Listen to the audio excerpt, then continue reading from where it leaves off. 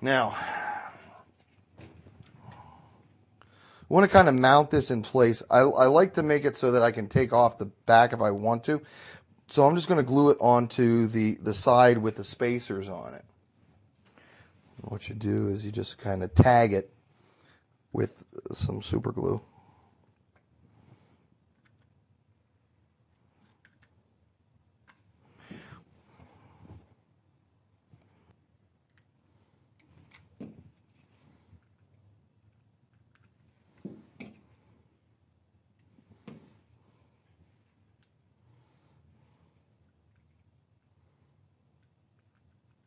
You want to be careful your mechanism so that you don't glue your mechanism shut.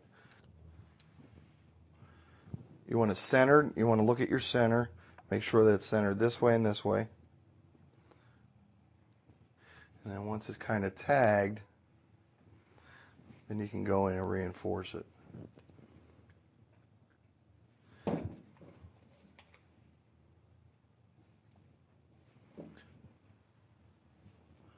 If you blow on a little bit, it accelerates it even more. No, you don't have to get too crazy with it uh, on this one, anyways, because you got your ready to go there. Check everything, make sure everything's smooth. And we are ready to button up the handle. Okay. This is all the internal structure. Once this internal structure is done, then we can move on to uh, more of the fun stuff. Got our handle. Put our handle on.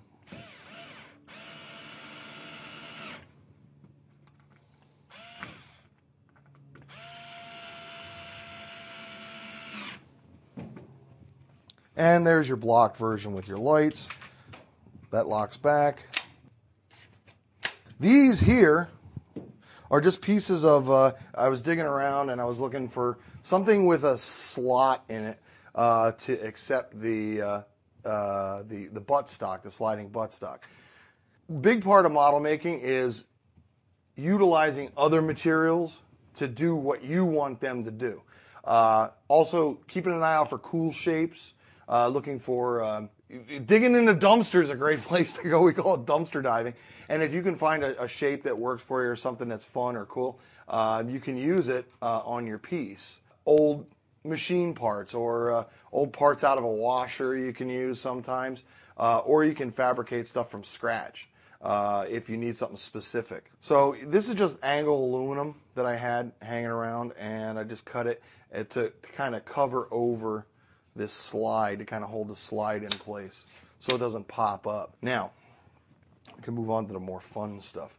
I already started this side, kind of grungy because it's grungy in the shop, uh, but uh, I started sculpting this out. Uh, you use a Dremel tool, and uh, I'll show you how that works. You can use a, a Dremel tool um, with a barrel on it. It's got a little sander on it here and it's great for sculpting and stuff. It's, it's got no grain to it, so you can actually uh, do some really cool shapes and stuff like that with it. Um, so let's get into it. So this side's kind of almost ready. This is kind of smooth. So we're going to work on the back side. I kind of started roughing it out here. So you just want to kind of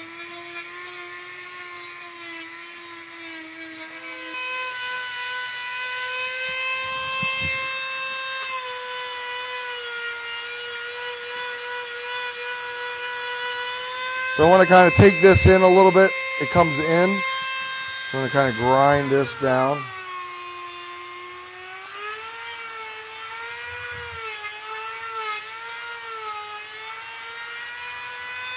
And you just want to kind of sculpt your shape out. This, is, this kicks in a little bit here, right in here. So I want to take this down a little bit.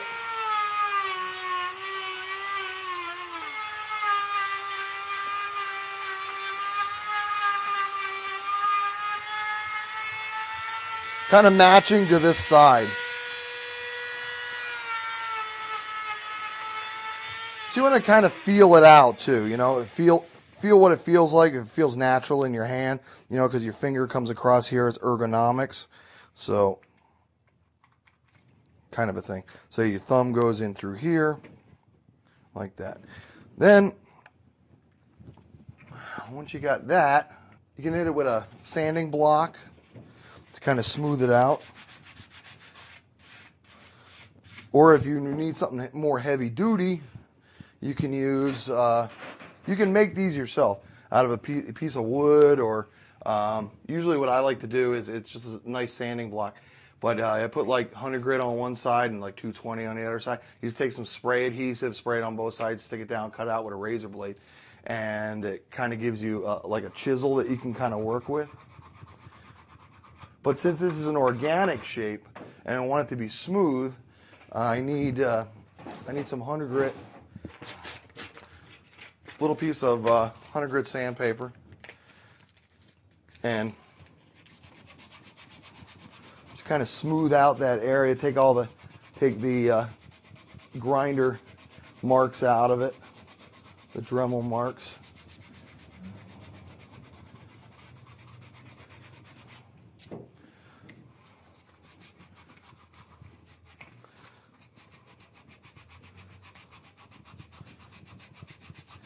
Now you don't want to get too thin because then you're going to start cutting into your your uh, uh, your spacer here. So you want to kind of feather that into it. As you can see, it's a nice transition. Now, later on, I'm going to put some grips on here, some grips on this area. So I'm not going to get too crazy with this zone here, right? Just the areas that are going to be seen.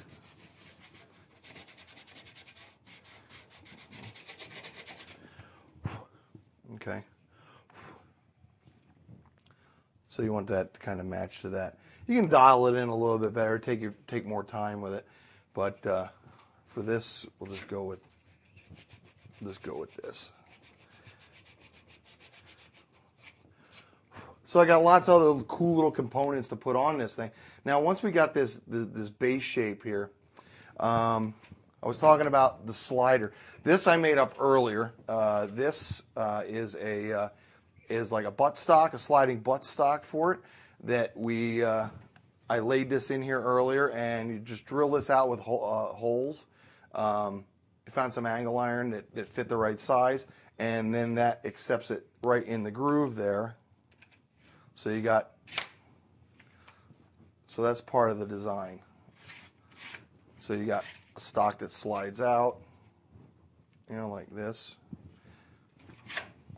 So that will all be dressed out. What, what you're trying to do is block it. You want to block it first. You want to build out the large details and save the small details for later.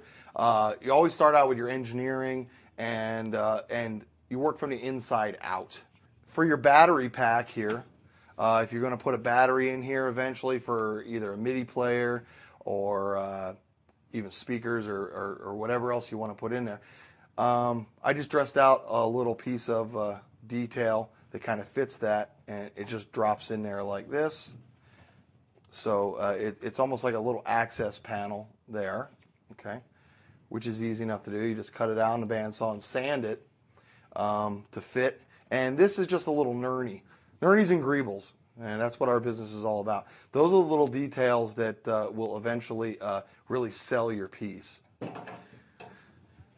It still needs the clip, all right? So you want to put a clip in here, but I want it to be practical. So what I started to do was uh, block out um, two sides the same as before, the, uh, uh, the, the sandwich effect. All right, and then in between the sandwich, the meat in the sandwich, what I used is uh, is a thin piece of like uh, uh half inch uh, MDF to kind of create a a clip slider, all right, that goes in there that, that accepts uh, accepts the slides real nice in there. And then I took styrene sheeting and skinned the outside of it. At this phase, you don't want to get too detailed with anything. You just want to kind of block stuff out. That's why it's kind of rough looking. Um, but as you can see, it's kind of rough along the edges and so on and so forth there. And what we want to do is, move this aside, is I, I want to kind of clean these up. So I can take my file, clean up the edges, clean up these lines on the inside uh, by file works real nice for this because you can you can do both at the same time. Or you can just be much more clean with it when you cut it out. Um, but you still you're, you're still going to need to clean it up. So I'm going to clean this up real quick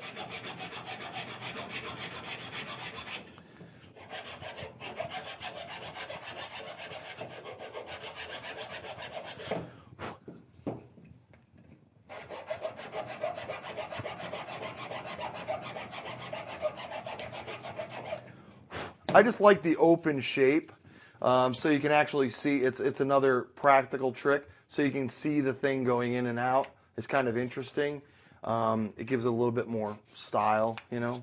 And uh, then once you have this, I just put a piece of acrylic, uh, quarter inch acrylic, on the bottom because it's a little tougher, and I don't want it to uh, uh, to get too beat up. And then I just took the Dremel like this and just carved out some little grooves to uh, except like finger slots, you know, so you can grab it with your fingers like this.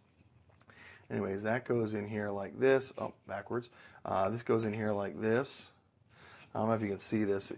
There is a, there's a thin piece of styrene on, on this side, and then there's a styrene skin with a piece of quarter inch MDF on this side. All right. Um, so this will slide in like this, and then we can take the whole rig and I, I left a little space here for uh, to accept the new clip. So basically that will slide and align into this. All right, so that's, you can see it's starting to take shape now, okay?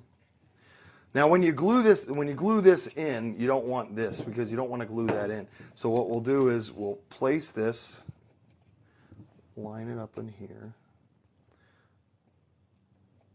And I'll be aware too that you've got slidey parts all over this. If you put too much glue, you could ruin all your work. You could glue this thing together. This could get glued in, which would be bad.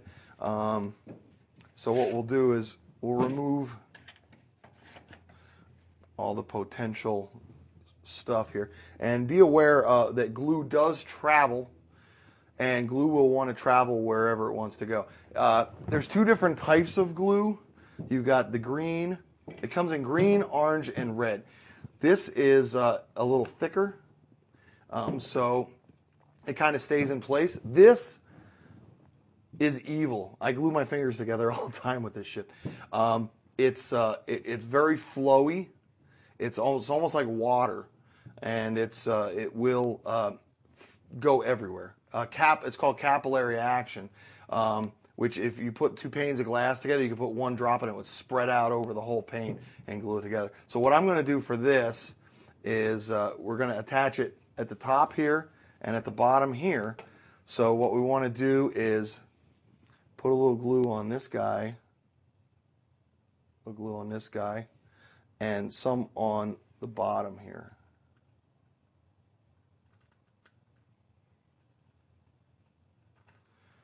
Making sure you don't get any glue on the inside. Then we want to align it, key it into position. Take your kicker.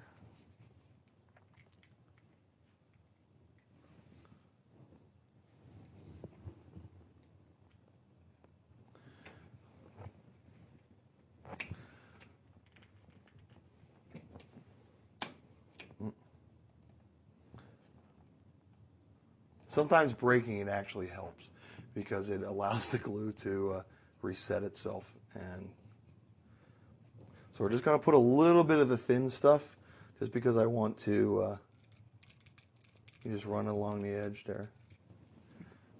Zap it. Along the edge.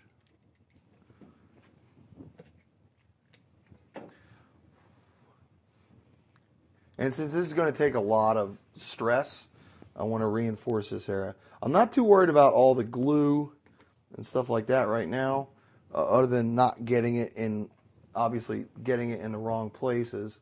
But you just want to reinforce this because it's going to take a, a lot of beating. So if you build something up, if your glue builds up at this stage, it's really not that important. Then you can hit it with your little sander. You know,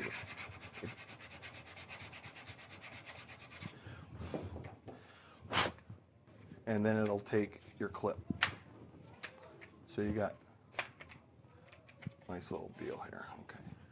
I whipped up this little stand last night for working on stuff. So I put a hole in the bottom of it so I can put it on the stand. And you can get an idea about what's going on here. So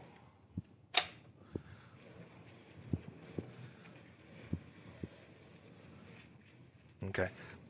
These uh, little bits here are just little nurnies and greebles, little details that you can uh, you can just fabricate out of a plastic or um, you can use MDF. Except MDF when it's thin, it gets kind of weak. So what I like to do is uh, whenever I'm if I want to harden my MDF so it's a little tougher, I just take the thin stuff and it just absorbs right into the material. Uh, it, it, actually uh, it uh, it's almost like painting it with uh, with glue, and it hardens it. Makes it a little tougher. Now, if you uh, if you zap it, it, it may crystallize because it uh, it super accelerates the glue. So we still got the wires hanging out on this side. What do we do with those? All right, those we just we're gonna we're all this is going to be covered. I had some I had some perforated steel hanging around, uh, perforated aluminum um, that I I took a pattern out of paper and kind of wrapped it around this uh, to get an idea about how big the uh, this area is for this mock suppressor, so to speak. And uh, and then I cut this out. This is a uh, uh, little perforated aluminum, same stuff as the table's made out of and I just rolled it into a ring. And that will go like so. But for effect, I wanted it to look have colors to it. So you get a piece of this gel. Um, it's a film gel, and what I do is slide this into this. And then I kind of advanced it a little bit, and then that would slide over the acrylic tube, and there you go. So when you pull the trigger, you got some colors. It's kind of it makes it a little bit more interesting.